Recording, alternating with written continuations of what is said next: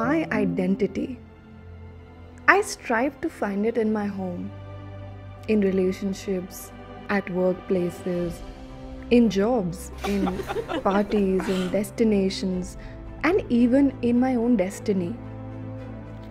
But I always felt I was never myself. I was living someone else's life. Then I decided to start my own company. I failed many a times, succeeded in a few. Frustrations were there, so were moments of happiness. But my company gave me a window to look into the world from my own perspective. I am no more a fallen feather. Today, I fly as a bird. Today, I celebrate my own identity. I'm a proud entrepreneur.